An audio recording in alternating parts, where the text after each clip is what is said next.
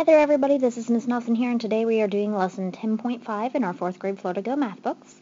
If you're in my class, you should have your big math book and we are going to start on page 399 so you can fill that out as we go through this lesson.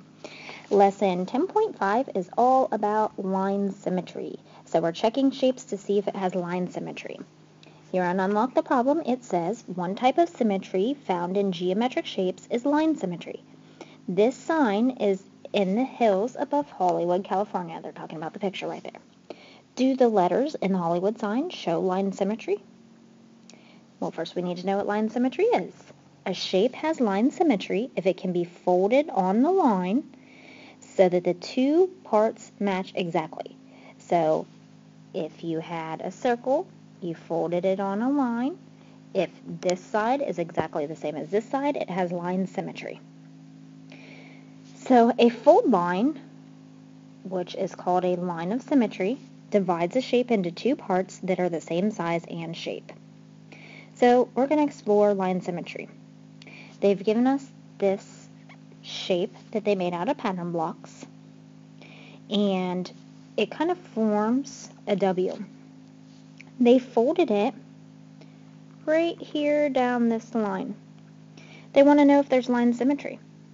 So meaning, is this left side the same as the right side? So if they folded it on top of each other, would it be exactly the same? They did that here so you can kind of see. And the sides line up to be the same. So the letter yes, W, yes, it has line symmetry. So basically you want to know if what's on the left of the line is the same as on the right. We're going to do page, we're going to skip page 400, and we're going to do this a little bit more, give you some examples by filling out page 401. So turn to page 401 in your big math books. And we're going to do the share and show part up here at the top. So we're going to tell whether the parts on each side of the line match. Is the line a line of symmetry, right, yes or no? So, number one here, this is probably the trickiest one. If you were to fold it on this blue line, would it be exactly the same? And the answer is actually no. Because this line would move down to here. And then you have this whole extra chunk that's showing. So it doesn't line up correctly. The answer there is no. Number two, however, if you fold this side over on top of this side, Yes, it has line symmetry. It's exactly the same on the left as it is on the right.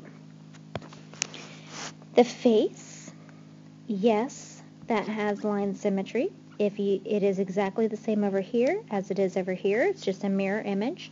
This eye would fold up onto this eye. This side of the smile would fold up onto the other side of the smile. This one, no. Look how small this is. It's a little triangle whereas the bottom part is a trapezoid. So if you were to fold that, no, it does not have line symmetry. Okay, number five, tell if the blue line appears to be a line of symmetry, right, yes or no. This side and this side are exactly the same, just mirror images. So yes, this has line symmetry. This side and this side, it's kind of tricky, but this is no. It does not have line symmetry. If I were to fold this over the line, it would not line up correctly. It would kind of be like this. And 7, we can see obviously that this side is much smaller than this side, so if we folded it, that would be no. 8, this side is an exact mirror image of this side, so yes. So lesson, this lesson, lesson 10.4, I'm sorry, this is lesson 10.5, is all about line symmetry. Does it have line symmetry or not? If you have any questions, feel free to leave me a message.